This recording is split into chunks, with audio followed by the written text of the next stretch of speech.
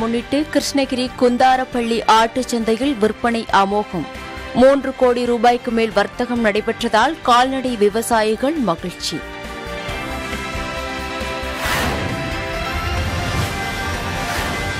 சிங்கம்புணரி அருகே நடைபெற்ற மஞ்சு விரட்டில் இருநூற்றுக்கும் மேற்பட்ட மாடுகள் பங்கேற்பு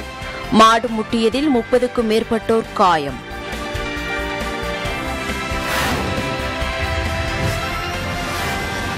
இளங்கலை மருத்துவ படிப்பிற்கான இடங்களுக்கு நாற்பதாயிரத்து இருநூற்று எண்பத்தி எட்டு பேர் ஆன்லைனில் விண்ணப்பம் நேரில் விண்ணப்பிக்க ஜனவரி பத்தாம் தேதி கடைசி நாள்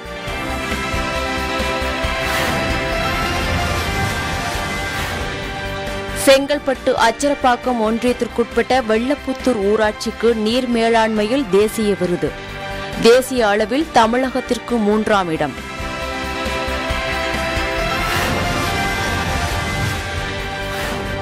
வரும் ஒன்பதாம் தேதி நடைபெறவிருந்த டிஎன்பிஎஸ்சி தேர்வுகள் முழு ஊரடங்கு காரணமாக ஜனவரி பதினோராம் தேதிக்கு ஒத்திவைப்பு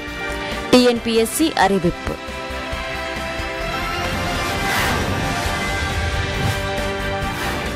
கோயம்பேடு சந்தை மறு அறிவிப்பு வரும் வரை மதியம் ஒரு மணி வரை மட்டுமே செயல்படும் சிறு மற்றும் மொத்த காய்கறி வியாபாரிகள் சங்கம் அறிவிப்பு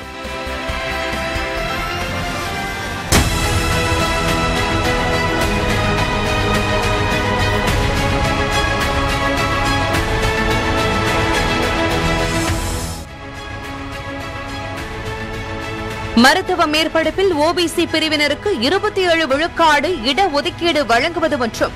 பொருளாதாரத்தில் பின்தங்கிய உயர் வகுப்பினருக்கான பத்து விழுக்காடு இடஒதுக்கீடு வழங்குவது ஆகியவற்றை உச்சநீதிமன்றம் உறுதி செய்துள்ளது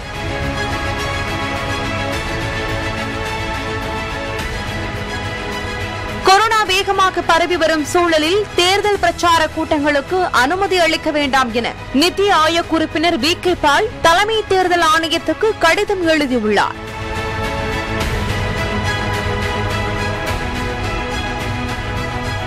அனைத்து சர்வதேச பயணிகளுக்கும் ஏழு நாள் வீட்டு தனிமை கட்டாயம் என மத்திய அரசு உத்தரவு பிறப்பித்துள்ளது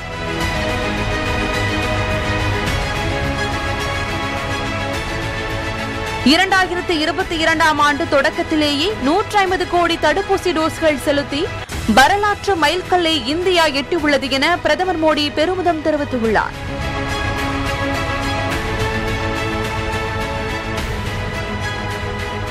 நாடு முழுவதும் ஐந்து நாட்களில் ஒன்றரை கோடி சிறார்களுக்கு தடுப்பூசி செலுத்தப்பட்டுள்ளதாக மத்திய சுகாதாரத்துறை தெரிவித்துள்ளது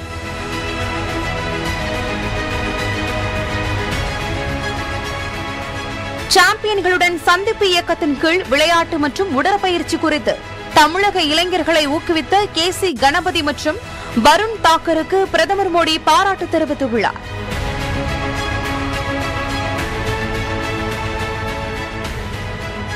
டெல்லியில் கொரோனா பரவலை கட்டுப்படுத்தும் வகையில் இன்று முழு ஊரடங்கு பிறப்பிக்கப்பட்டுள்ளது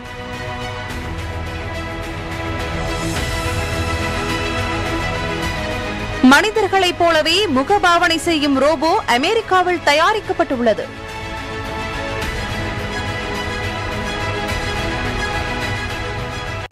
ஐஎஸ் இயக்கத்துக்கு பதிலடி கொடுக்கும் வகையில் ஆப்கான் தலிபான் அரசு தற்கொலைப்படை பயங்கரவாதிகளை ராணுவத்தில் செலுத்தியுள்ளது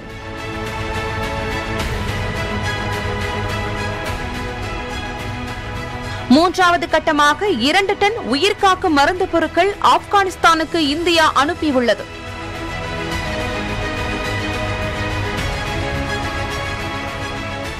சர்வதேச டி டுவெண்டி போட்டியின் ஒவ்வொரு இன்னிங்ஸிலும் இரண்டு புள்ளி முப்பது நிமிடங்கள் இடைவெளி எடுத்துக்கொள்ள ஐசிசி அனுமதி வழங்கியுள்ளது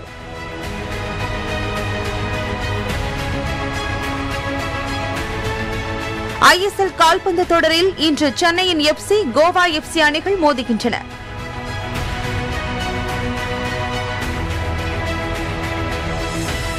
ப்ரோ கபடியில் இன்று தபாங் டெல்லி யோதா அணிகள் பல பரீட்சை நடத்துகின்றன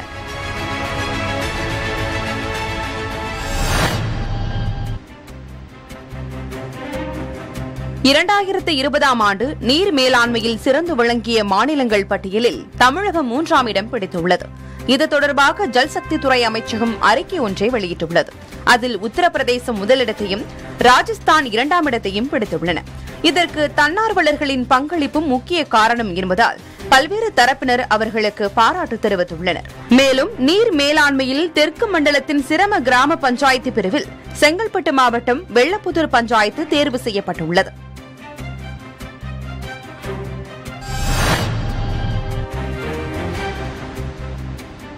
நீர் மேலாண்மையில் சிறந்த ஊராட்சியாக தென்மண்டலம் சார்பாக வெள்ளப்புத்தூர் ஊராட்சிக்கு தேசிய விருது அறிவிக்கப்பட்டுள்ளது வெள்ளப்புத்தூர் ஊராட்சியில் நீர்நிலைகளில் தண்ணீரை தேக்கி வைத்துள்ளதால் விவசாய கிணறுகளில் நீர்மட்டம் குறையாமல் உள்ளது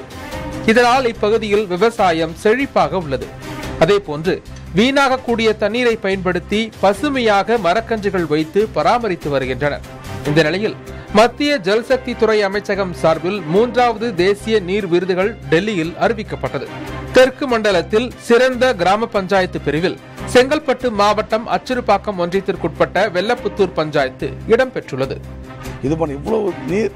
லெவல் இன்க்ரீஸ் ஆகிதுன்னா அதுக்கு இந்த நூறுநாள் நாள் திட்டத்தின் மூலமாக செய்த பணிகள் தான் இந்த எங்களுக்கான இந்த விருது அறிவித்த மத்திய மாநில அரசுக்கும் என் கிராம சார்பாக மிகப்பெரிய நன்றியும் வாழ்த்து நாங்கள் தெரிவிச்சுக்கிறோம் சென்னை கோயம்பேடு வணிக வளாகம் இன்று முதல் மதியம் ஒரு மணி வரை மட்டுமே திறந்திருக்கும் என வியாபாரிகள் அறிவித்துள்ளனா் கொரோனா பரவலை கட்டுப்படுத்த அதிகாரிகளின் அறிவுறுத்தலின்படி மறு அறிவிப்பு வரும் வரை கோயம்பேடு வணிக வளாகம் அதிகாலை ஒரு மணி முதல் பிற்பகல் ஒரு மணி வரை மட்டுமே இயங்கும் என தெரிவிக்கப்பட்டுள்ளது மேலும் ஞாயிற்றுக்கிழமை ஜனவரி ஒன்பதாம் தேதி முழு முடக்கத்தின் போது கோயம்பேடு வணிக வளாகம் இயங்காது என்று சில்லறை மற்றும் மொத்த காய்கறி விற்பனையாளர் நலச்சங்கம் அறிவித்துள்ளது அரசின் அனைத்து வழிமுறைகளையும் வியாபாரிகள் தவறாது பின்பற்றவும் அறிவுறுத்தப்பட்டுள்ளது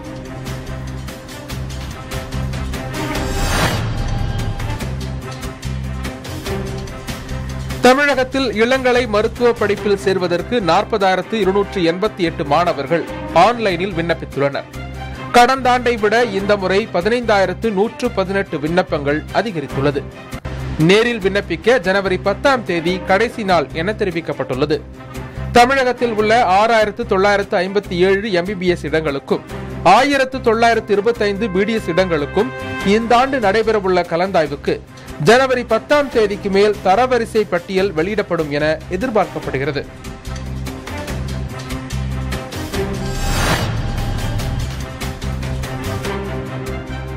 தமிழகத்தில் கொரோனா பரவல் காரணமாக வரும் ஜனவரி ஒன்பதாம் தேதி ஞாயிற்றுக்கிழமை முழு ஊரடங்கு அறிவிக்கப்பட்ட நிலையில் அன்று நடைபெறுவதாக இருந்த ஒருங்கிணைந்த புள்ளியியல் சார்நிலை பணிகளுக்கான தேர்வுகள் ஜனவரி பதினோராம் தேதிக்கு மாற்றப்படுவதாக டிஎன்பிஎஸ்சி அறிவித்துள்ளது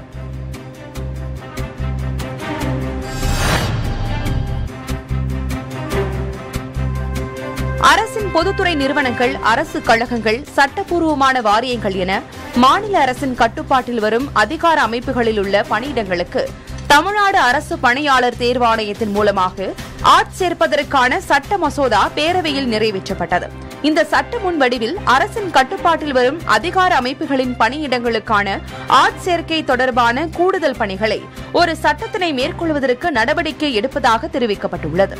மேலும் அதிகார அமைப்புகளில் எழும் காலி இடங்களை நிரப்புவதில் நிபுணத்துவத்தை பேண முடியும் என்றும் கூறப்பட்டுள்ளது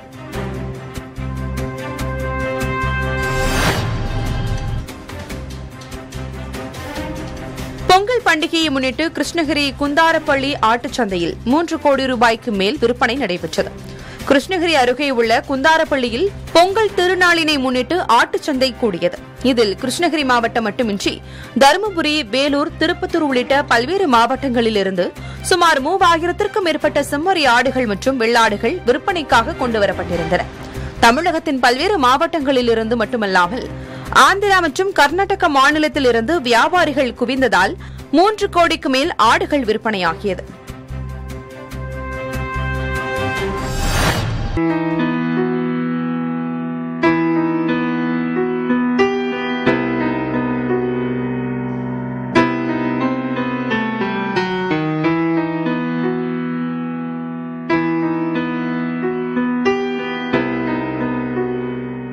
கடந்த கால ஜல்லிக்கட்டு போட்டிகளில் வீரர்களை திணறடித்த மாணிக்கம் காளை விபத்தால் கால்களை இழந்து காட்சி தருவது மிகுந்த மன வருத்தத்தை ஏற்படுத்துகிறது புதுக்கோட்டை மாவட்டம் கோவில்பட்டியைச் சேர்ந்த பாபுதான் அந்த கம்பீர சிங்கத்தின் உரிமையாளர் கடந்த இரண்டாயிரத்து பனிரெண்டாம் ஆண்டு தஞ்சையில் ஒரு காளை வளர்ப்பாளரிடம் இருந்து செவலை காளையை வாங்கி அதற்கு மாணிக்கம் என்று பெயர் சூட்டி வளர்த்து வருகிறார் முதன் முதலாக சூரியூர் ஜல்லிக்கட்டில் மாணிக்கத்தை களமிறக்கி மாடுபிடி வீரர்களை மிரட்டியுள்ளார் பொதுவாக வாடி வாசலில் இருந்து சீரிப்பாயும் காளைகள் களத்தை விட்டு விரைவில் வெளியேறும் ஆனால் மாணிக்கம் களத்தில் ஐந்து மணி நேரத்திற்கும் மேலாக நின்று விளையாடும் தொடர்ந்து சிவகங்கை மாவட்டம் சிராவயல் அலங்காநல்லூர் ஜல்லிக்கட்டு என பல போட்டிகளில் களம் கண்ட மாணிக்கம் காளை மாடுபிடி வீரர்களுக்கு சிம்ம சொப்பனமாக விளங்கியது மேலும் தன்னை வளர்த்த உரிமையாளருக்கு தங்க காசுகள் சைக்கிள் பைக் சோஃபா என பரிசுகளை வென்று கொடுத்தது மாணிக்கம் இத்தகைய புகழுக்கு சொந்தமான மாணிக்கம் காளை கடந்த இரண்டாயிரத்து பத்தொன்பதாம் ஆண்டு ஆலங்குடி அருகே மங்களாபுரத்தில் நடந்த ஜல்லிக்கட்டின் போது இரும்பு கேட்டில் சிக்கி கால்களை இழக்க நேரிட்டது அது அடைஞ்சு அதை கொண்டே நாங்கள் உள்ளே கொண்டு போகிறோம் கொண்டு போகும்போது எப்போவுமே வாடிக்கையில் வாசல் வீட்டில் நாங்கள் பிடிச்ச போகிற வரைக்கும் பிள்ளை மாதிரி எங்கள்கிட்ட பழகிட்டு வரோம் அந்த ஜல்லி அந்த தொழுவத்துக்குள்ளே போகும்போது அதுக்கு தனி ஒரு பவர் வந்த மாதிரி நாமளே நம்மளே அது மேலே டச் பண்ண முடியாது அப்போ எங்களுக்கு தெரியாமல் யாரோ பின்னாடி ஏதோ டச் பண்ணியிருக்காங்க அந்த சாத்தக்கூடிய மாடு திருப்பி எடுத்துகிட்டு வெளில போகாத அளவுக்கு ஒரு டோர் ஒன்று வச்சுருந்தாங்க அந்த டோரில் உதச்சி கால் போட்டுக்கிட்டு வெளில போயிடுச்சு இது வரைக்கும் ஒரு அஞ்சு லட்ச ரூபா செலவு பண்ணியிருக்கோம் காசை பெருசாக பார்க்கல ஆனால் அந்த இன்னமும் எங்களுக்கு வந்து யாராச்சும் உதவி பண்ணாங்களா நாங்கள் எதிர்பார்த்துட்டு இருக்கோம் அதுக்கு இன்ன வரைக்கும் ஒரு விடிவு காலம் வரமாட்டேங்குது கண்டிப்பாக யாராச்சும் எங்களுக்கு அந்த மாதிரி செலவை பற்றியெல்லாம் நாங்களே செலவு பண்ணுறதுக்கு ரெடியாக இருக்கோம் அதுக்கு ஐடியா கொடுத்து குஜராத் அந்த மாதிரி ஊர்ல எல்லாம் சொன்னாங்க நாங்களும் கான்டாக்ட் பண்ணி பார்த்தோம் சரியான எங்களுக்கு ஒரு தகவல் வர மாட்டேங்குது அது வந்துச்சுன்னா கண்டிப்பாக எல்லாருக்கும் நன்றி சொல்லுவோம் அந்த மாதிரி கால் வைக்கிறதுக்கு ஏற்பாடு செஞ்சாங்கன்னா கண்டிப்பாக எல்லாருக்கும் நல்லா சொல்லுவோம் செலவு கண்டிப்பாக நாங்கள் பண்ணிடுவோம் வளர்த்த பாசத்தால் தற்போது வரை ஐந்து லட்சம் ரூபாய் வரை செலவு செய்து மாணிக்கம் காளையை பராமரித்து வருகின்றனர் ஏன்னா மாடு வந்து ரொம்ப வாடி வாசல்ல வந்து மற்ற காலைங்க வந்து விளையாடிட்டு இப்போ எங்க காலைங்க ஒரு ரவுண்ட் ரெண்டு ரவுண்ட் அடிச்சுட்டு ஓடிடும் ஆனா இது என்ன பண்ணுதுன்னா அப்படியே நிற்கும் பதினஞ்சு நிமிஷம் இருபது நிமிஷம்லாம் வாடியில் நிற்கும் இதோட முழு திரும்ப தெரிஞ்சிருக்கணும்னா பழைய ஜல்லிக்கட்டுங்க நடந்துச்சுல ரெண்டாயிரத்தி அஞ்சு ரெண்டாயிரத்துக்கு முன்னாடி நடந்த ஜல்லிக்கட்டுலாம் இந்த காலை அவுத்திருந்தா இது மாதிரி ஒரு காலையே வர்ணிச்சிருக்க முடியாது கண்டிப்பாக ஹீரோ தாங்க லெஜண்ட் ஈஸி அது அதாவது லெஜெண்டுன்னு சொல்லுவாங்க எப்படி வந்து ஒரு ஸ்போர்ட்ஸ் மேனில் வந்து ஒரு கிரிக்கெட்டில் ஒருத்தர் வர்ணிச்சு அவங்கள வந்து லெஜெண்ட்றாங்களோ அது மாதிரி ஜல்லிக்கட்டோட லெஜெண்டில் அந்த தமிழ்நாட்டில் குறிப்பிட்ட காலங்களில் வந்து விரல் விரல் விட்டு என்ன சொல்லுவாங்க அதில் மாணிக்கம் வந்து என்றைக்குமே இருக்கும் களம் காண முடியாவிட்டாலும் கடந்த கால ஜல்லிக்கட்டு போட்டிகளில் மாணிக்கம் காலை ஏற்படுத்திய தாக்கம் அதனை ஒரு ஹீரோவாக நம் கண்முன்னே நிறுத்துகிறது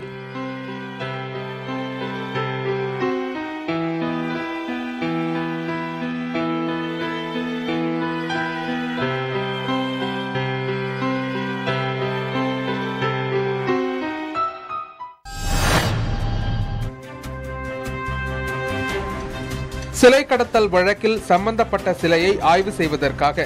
கடவுளை ஆஜர்படுத்த உத்தரவிட்ட கும்பகோணம் சிறப்பு நீதிமன்றத்திற்கு சென்னை உயர்நீதிமன்றம் கண்டனம் தெரிவித்துள்ளது இந்த வழக்கை விசாரித்த நீதிபதி சுரேஷ்குமார் சிலையை கடவுளாக மக்கள் நம்பும் நிலையில் நீதிமன்றம் கடவுளை சம்மன் செய்ய முடியாது என்று கூறி அதனை ஆஜர்படுத்தும்படி உத்தரவிட்ட நீதிமன்றத்திற்கு கண்டனம் தெரிவித்தார் மேலும் சிலையை ஆய்வு செய்ய வேண்டுமானால் வழக்கறிஞர் ஆணையரை நியமித்து ஆய்வு செய்ய வேண்டும் எனவும் சிலையை பீடத்திலிருந்து அப்புறப்படுத்த வேண்டியதில்லை என்றும் உத்தரவிட்ட நீதிபதி விசாரணையை நான்கு வாரங்களுக்கு தள்ளி வைத்தார்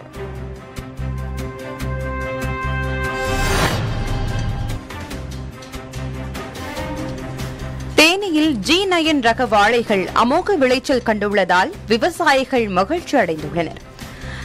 மற்றும் தேவாரம் அதன் சுற்றுப்புற கிராம பகுதிகளான பாலார்பட்டி தேவாரம் குண்டல் நாயக்கன்பட்டி கூலையனூரில் சுமார் முன்னூற்றுக்கும் மேற்பட்ட ஏக்கர் பரப்பளவில் ஜி நயன் ரக பச்சை வாழைப்பழ விவசாயம் நடைபெற்று வருகிறது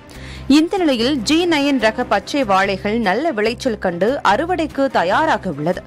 இந்த ரக வாழைகளுக்கு கேரளா மகாராஷ்டிரா மாநிலங்களில் தேவை அதிகரித்து இருப்பதால் விவசாயிகள் மகிழ்ச்சி அடைந்துள்ளனர் ஒரு கிலோ இருபது ரூபாய் வரை விற்பனை செய்யப்படுவது குறிப்பிடத்தக்கது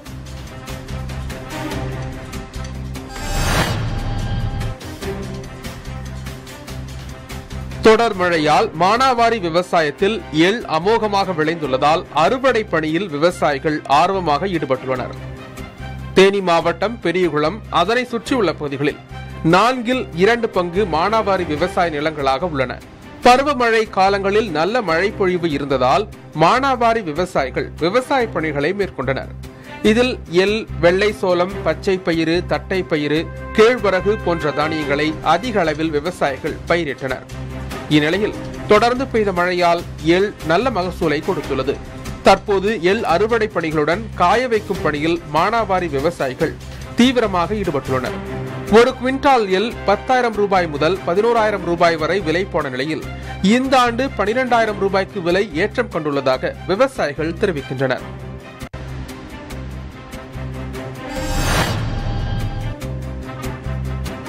திருவாரூர் மாவட்டம் நீடாமங்கலம் தாலுகா பகுதியில் விவசாயிகள் கோடை சாகுபடியை கைவிடுவதற்கு முடிவு செய்துள்ளனர் இது தொடர்பான ஆலோசனைக் கூட்டம் நீடாமங்கலம் தாலுகா செட்டிசத்திரம் கிராமத்தில் நடைபெற்றது தாலுகா முழுவதும் இருபத்தைந்து கிராமங்களைச் சேர்ந்த நூற்றி ஐம்பதுக்கும் மேற்பட்ட விவசாயிகள் இந்த ஆலோசனைக் கூட்டத்தில் பங்கேற்றனா் உர விலை ஏற்றம் அறுவடை இயந்திரம் தட்டுப்பாடு ரசாயன உரத்தை தொடர்ச்சியாக பயன்படுத்துவதால் மண்வளம் பாதிப்பு போன்ற காரணங்களால் இத்தகைய முடிவை எடுத்துள்ளதாக விவசாயிகள் தெரிவித்துள்ளனர் உர விலை ஏற்றம் ஆட்கூலி ஏற்றம் டிராக்டர் மிஷின் அறுவடை மிஷினு எல்லாமே வந்து விலைவாசிகள்லாம் கட்டுக்கு அடங்காமல் போயிட்டு நிலத்தடி நீரும் பாதிக்கப்பட்டு உப்பு தனியா போச்சு அதனால விவசாயம் வந்து நெற்பயிரை நிறுத்திவிட்டு உளுந்து பயிர் கடலை பருத்தி மாற்றுப்பயிர் அதுவும் வந்து பணப்பயிர்களை செய்யறதுக்காக ஒரு முடிவெடுத்து எல்லாம் தீர்மானம் போட்டு இந்த கூட்டத்தில் முடிவெடுத்திருக்கோம்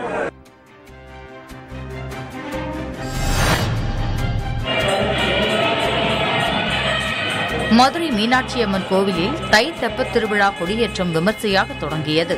மதுரை மீனாட்சி அம்மன் கோவிலில் தெப்பத் திருவிழாவிற்கான முகூர்த்த கால் கடந்த டிசம்பர் மாதம் இருபத்தாறாம் தேதி நடப்பட்டு சிறப்பு பூஜைகள் செய்யப்பட்டன இந்நிலையில் கோவிலில் சுவாமி சன்னதி எதிரே உள்ள கொடிமரத்தில் கொடியேற்றப்பட்டது அப்போது எழுந்தருளிய மீனாட்சி சுந்தரேஸ்வரர் சுவாமிகளுக்கு சிறப்பு பூஜை செய்து தீப ஆராதனை காண்பிக்கப்பட்டது இதில் கோவில் இணை ஆணையர் செல்லத்துறை மற்றும் கோவில் பணியாளர்கள் கலந்து கொண்டனர் தெப்பத் திருவிழா தைப்பூச நாளான வரும் ஜனவரி பதினெட்டாம் தேதி நடைபெற உள்ளது குறிப்பிடத்தக்கது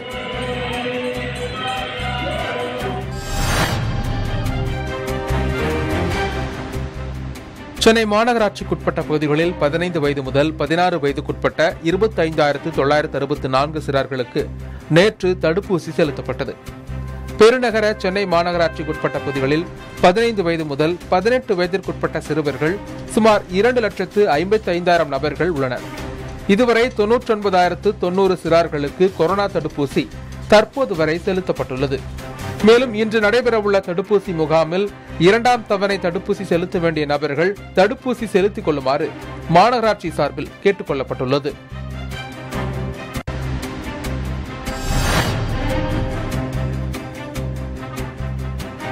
ஹைதராபாத்தில் நடைபெற்ற சர்வதேச அளவிலான பாக்ஸிங் போட்டியில் பதக்கம் வென்றவருக்கு சென்னையில் உற்சாக வரவேற்பு அளிக்கப்பட்டது சென்னை வில்லிவாக்கம் பகுதியைச் சேர்ந்த கார்த்திக் சிறு வயதிலிருந்தே பாக்ஸிங் மீது ஆர்வம் கொண்டவர் இவர் கடந்த இரண்டாயிரத்தி பத்தொன்பதாம் ஆண்டு முதல் தொழில்முறை குத்துச்சண்டை போட்டிகளில் பங்கேற்று வெற்றி கண்டுள்ளார்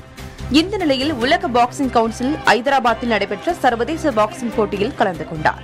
அதில் முன்னாள் சாம்பியனான இந்தோனேஷியாவைச் சேர்ந்த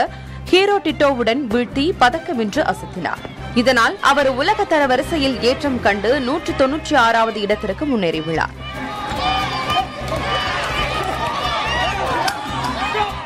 Last round.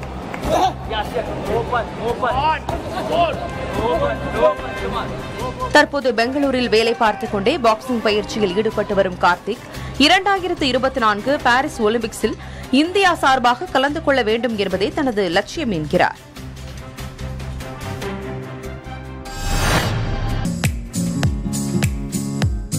தண்ணீரில் இலையை போட்டு செடிகளை வளர்த்து வரும் வங்கி ஊழியர் குறித்து விளக்குகிறது இந்த செய்தி தொகுப்பு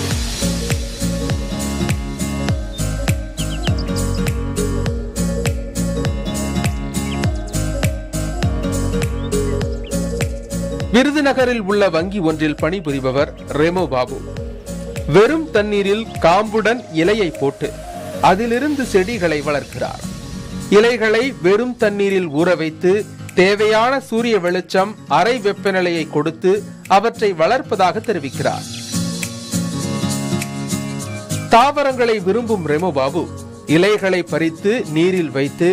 அவை வேர்விட்ட பின் தொட்டிகளில் வைத்து முழு செடிகளாக வளர்த்து வருகிறார் சோதனை முயற்சியாக ஆரம்பித்து தற்போது படுக்கை அறை உட்பட வீடு முழுவதும் செடிகளை வளர்த்து வருகிறார்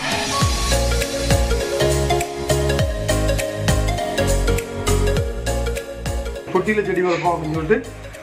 தொட்டியில் செடி வளர்க்க ஆரம்பிச்சேன் அப்புறம் ஒரு யூடியூப்ல பார்த்தேன் ஒருத்தர் வந்து இளநில நான் வந்து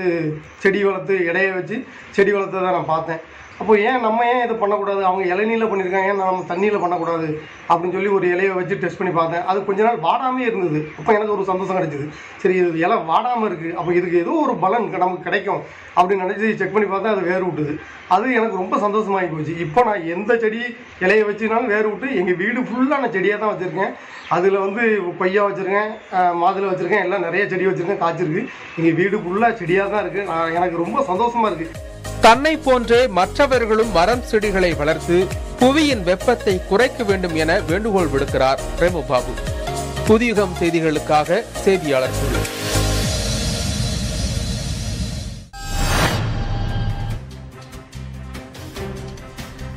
மூணாறு எஸ்டேட் பகுதிகளில் நுழைந்த ஒற்றை காட்டு யானையால் தேயிலை தொழிலாளர்கள் அச்சமடைந்தனர் கேரள பகுதியான மூணாறு அருகே பண்ணையார் எஸ்டேட் பகுதியில்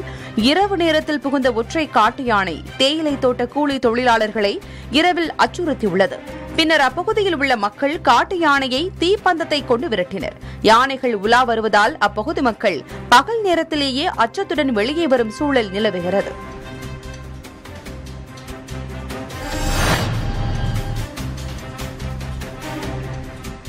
சேலம் மாவட்டம் ஓமலூர் வட்டார ரேஷன் கடைகளில் பொங்கல் தொகுப்பில் கொடுக்கப்படும் பொருட்களில் ஒரு சில பொருட்கள் குறைந்த எண்ணிக்கையில் வந்துள்ளதாக புகார் எழுந்துள்ளது இதனால் ரேஷன் கடை விற்பனையாளர்கள் ஊழியர்கள் கடுமையாக பாதிக்கப்பட்டு வருகின்றனர்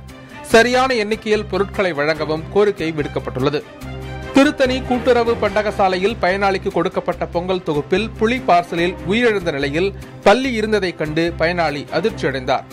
இது குறித்து ரேஷன் கடை ஊழியரிடம் கேட்டபோது சரியான பதில் இல்லை என்று பயனாளி வேதனையுடன் தெரிவித்திருக்கிறார்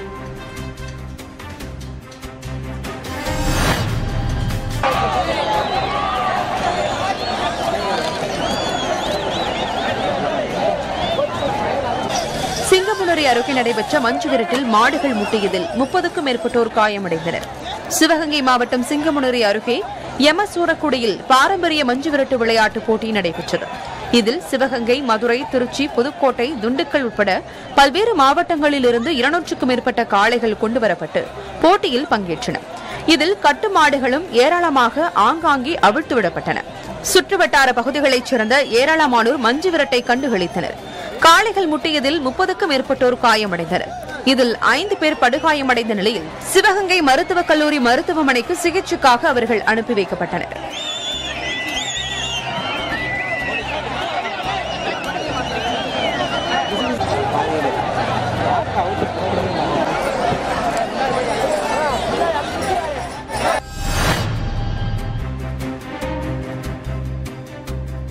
மதுரையில் பொங்கல் பண்டிகையை முன்னிட்டு அனைத்து குடும்ப அட்டைதாரர்களுக்கும் பச்சரிசி வெல்லம் திராட்சை முந்திரி ஏலக்காய் துவரம்பருப்பு பச்சை பருப்பு உள்ளிட்ட பத்து பொருட்கள் அடங்கிய நானூற்று தொன்னூறு ரூபாய் மதிப்பிலான தொகுப்பு வழங்கப்படும் என அம்மாநில முதலமைச்சர் ரங்கசாமி தெரிவித்துள்ளார் மேலும் வரும் பனிரெண்டாம் தேதி தேசிய இளைஞர் திருவிழா கொரோனா தொற்று காரணமாக காணொலி காட்சி மூலம் நடைபெற உள்ளதால் பிரதமர் மோடி வருகை ரத்து செய்யப்பட்டுள்ளதாக அவர் கூறினார் இளைஞர் விழா பன்னிரெண்டாம் தேதி முதல் திருச்சியில் நடத்துவதாக இருந்தது பிற மாநிலத்தை சார்ந்த இளைஞர்கள்லாம் இங்கே வந்து அந்த தேசிய இளைஞர் விழா கொண்டாடுவதாக இருந்தது அது காணொலி மூலம் அதாவது வெர்ச்சுவல் காணொலி மூலம் அந்த விழா கொண்டாடப்படும் என்று மத்திய அரசு அறிவித்துள்ளது அதனால் பிரதமர் வருகை பூச்செரிக்கை பொழுது தற்பொழுது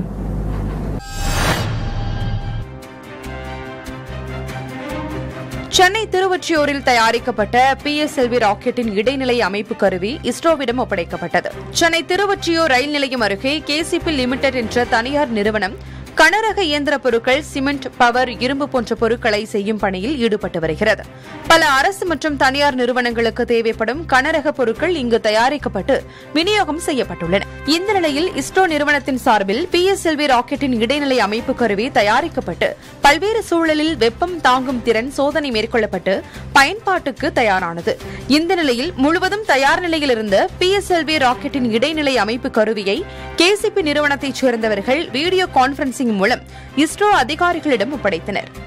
இன்று ஆக்சுவலாக கேசிபி நிறுவனம் பிஎஸ்எல்வி ராக்கெட்டுடைய main part actually main part அது மெயின் செப்பரேஷன் பார்ட்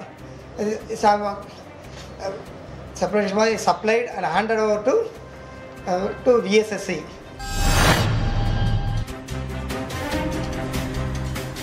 நாமக்கல் மாவட்டத்தில் கொரோனா மற்றும் ஒமிக்ரான் பரவலை கட்டுப்படுத்த மாவட்ட நிர்வாகம் பல்வேறு நடவடிக்கைகளை மேற்கொண்டு வருகிறது ஞாயிற்றுக்கிழமை முழு ஊரடங்கு கடைபிடிக்கப்படும் நிலையில் வணிகர் சங்க நிர்வாகிகள் கோழி பண்ணையாளர்கள் நகைக்கடை உரிமையாளர்கள் உள்ளிட்ட பல்வேறு அமைப்பினர்களுடன் நாமக்கல் மாவட்ட ஆட்சியர் ஸ்ரேயா சிங் தலைமையில் ஆலோசனைக் கூட்டம் நடைபெற்றது இதில் மருத்துவர்களின் பரிந்துரை சீட்டு இல்லாமல் மருந்து கடைகளில் காய்ச்சல் சளிகளுக்கு மாத்திரை வழங்கக்கூடாது ஞாயிற்றுக்கிழமை ஊரடங்கின் போது இறைச்சி உள்ளிட்ட அனைத்து கடைகளையும் மூட வேண்டும் என அறிவுறுத்தப்பட்டது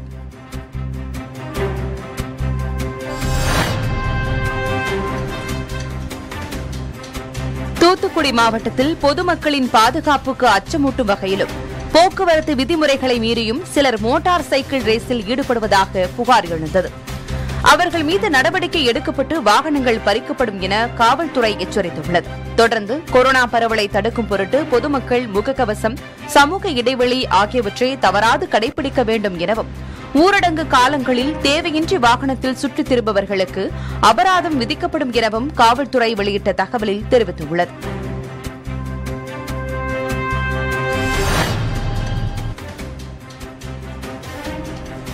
வேளாங்கண்ணியில் தனியார் நிதி நிறுவனத்தில் ஒரு கோடியே பதினாறு லட்சம் ரூபாய் வரை பண மோசடி செய்ததாக நான்கு ஊழியர்கள் கைது செய்யப்பட்டுள்ளனா் நாகை மாவட்டம் வேளாங்கண்ணியில் தனியார் நகை அடகு நிறுவனத்தில் நடைபெற்ற தணிக்கையில் பாதுகாப்பு பெட்டக அறையில் வைக்கப்பட்டிருந்த நகை பாக்கெட்டுகள் இல்லாதது கண்டுபிடிக்கப்பட்டது இதுகுறித்து காவல்துறையில் புகார் அளிக்கப்பட்டிருந்தது இந்நிலையில் கிளை மேலாளர் உட்பட நான்கு பேர் வாடிக்கையாளர்கள் பெயரில் போலி கணக்கு தொடங்கி போலியான ஆபரணங்களை அடமானமாக காட்டியிருப்பது போலீசாரின் விசாரணையில் தெரியவந்துள்ளது இதில் ஒரு கோடியே பதினாறு லட்சத்து முப்பத்தி எட்டு ஆயிரத்து எண்பது ரூபாய் வரை கையாடல் செய்ததும் அம்பலமாகியுள்ளது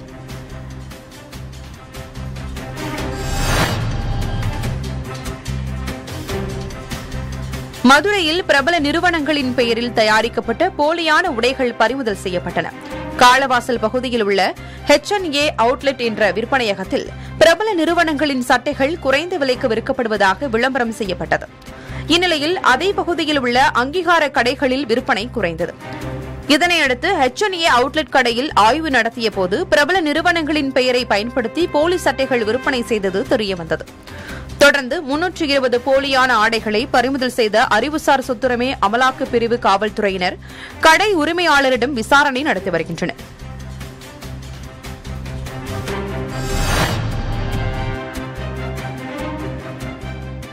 தமிழகத்தில் இதுவரை ஆயிரத்து அறுநூற்று நாற்பது கோடி ரூபாய் மதிப்பிலான கோவில் நிலங்கள் மீட்கப்பட்டுள்ளதாக இந்து அறநிலைத்துறை அமைச்சர் சேகர்பாபு தெரிவித்திருக்கிறார் சென்னையில் செய்தியாளர்களிடம் பேசிய அவர் கோவில் நிலங்களின் மூலம் வசூலிக்கப்படும் வாடகை ஆன்லைன் மூலம் இதுவரை நாற்பத்தி நான்கு கோடி ரூபாய் வசூல் செய்யப்பட்டிருப்பதாக கூறினார் அத்துடன் கோவில் நிலங்களை ஆக்கிரமித்துள்ளவர்கள் தாங்களாக முன்வந்து நிலங்களை ஒப்படைக்க வேண்டும் என வேண்டுகோள் விடுத்தார்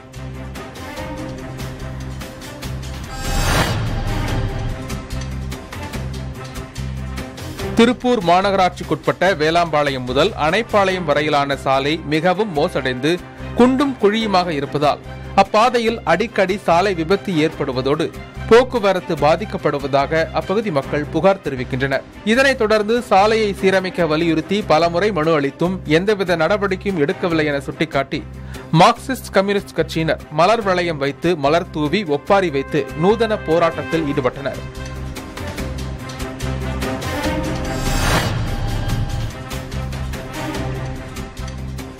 ராமநாதபுரம் மாவட்டம் கடலாடி தாலுகாவில் புதிய ரேஷன் கார்டு விண்ணப்பதாரர்களிடம் வருவாய்த்துறை அதிகாரிகளுக்கு பகிர்ந்தளிக்க ஓய்வு பெற்ற ரேஷன் கடை விற்பனையாளர் தலா ஆயிரத்து ஐநூறு ரூபாய் லஞ்சம் கேட்கும் ஆடியோ வைரலாகியுள்ளது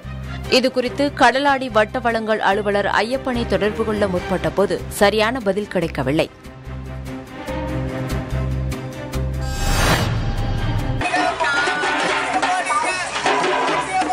முகக்கவசம் மற்றும் தடுப்பூசியின் முக்கியத்துவம் குறித்து கானா பாடல் பாடி பொதுமக்களிடையே கல்லூரி மாணவர்கள் விழிப்புணர்வு ஏற்படுத்தினர்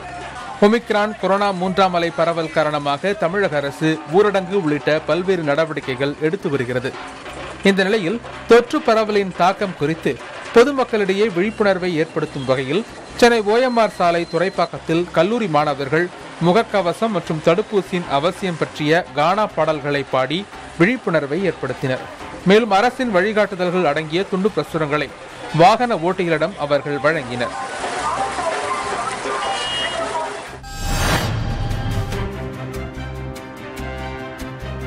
திருச்சியில் பகவதி அம்மன் கோவிலில் தனலட்சுமி அலங்கார திருவிழாவை முன்னிட்டு பல லட்சம் ரூபாய் நோட்டுகளால் அம்மனுக்கு அலங்காரம் செய்யப்பட்டு பூஜை செய்யப்பட்டது திருச்சி மாவட்டம் மண்ணச்சநல்லூரில் அமைந்துள்ளது பகவதி அம்மன் திருக்கோவில் மிகவும் பிரசித்தி பெற்றது இங்கு டிசம்பர் முப்பத்தி ஓராம் தேதி திருவிழா தொடங்கியது இந்நிலையில் முக்கிய திருவிழாவான தனலட்சுமிக்கு அலங்காரம் வெகு விமரிசையாக நடைபெற்றது இதில் ரூபாய் நோட்டுகளால் உற்சவரை சுற்றி தோரணம் அமைக்கப்பட்டது பல லட்சம் ரூபாய் நோட்டுகளினால் பகவதி அம்மன் தனலட்சுமி அலங்காரத்தில் பக்தர்களுக்கு காட்சி தந்தார்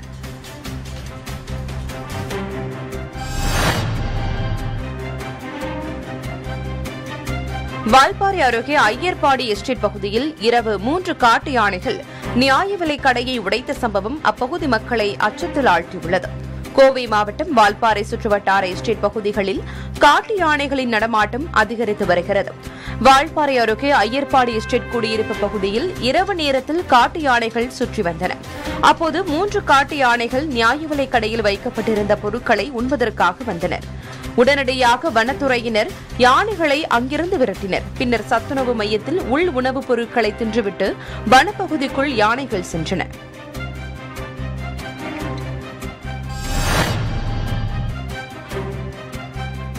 எடப்பாடி அரசு கலை மற்றும் அறிவியல் கல்லூரியில் இரத்த தான முகாம் நடைபெற்றது சேலம் மாவட்டம் எடப்பாடி அரசு கலை மற்றும் அறிவியல் கல்லூரியில் ரோட்டரி சங்கம் சார்பில் எடப்பாடி அரசு மருத்துவமனை மற்றும் கொங்கனாபுரம் வட்டார ஆரம்ப சுகாதார நிலையம் இணைந்து நடத்திய இரத்த தான முகாம் நடைபெற்றது இதில் மாணவர்கள் ஆர்வமுடன் கலந்து கொண்டு இரத்த தானம் வழங்கினர் பின்னர் நடைபெற்ற கொரோனா தடுப்பூசி முகாமில் பலரும் கலந்து கொண்டு தடுப்பூசி செலுத்திக் கொண்டனா்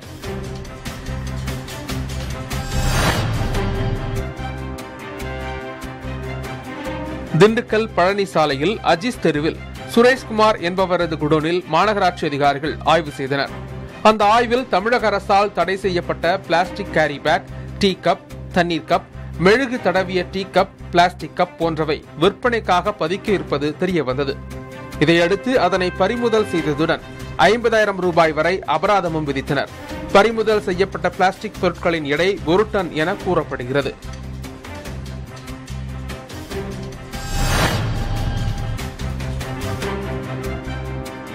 வேலூர் மாவட்டம் காட்பாடியில் உள்ள தனியார் பெட்ரோல் பங்கில் வாகன எரிபொருளில் கலப்படம் செய்வதாக புகார் எழுந்தது இதையடுத்து மாவட்ட வழங்கல் அலுவலர் மற்றும் அதிகாரிகள் அந்த பெட்ரோல் பங்கில் ஆய்வு மேற்கொண்டனர் மேலும் டீசல் மாதிரிகளையும் ஆய்வுக்காக எடுத்துச் சென்றனர்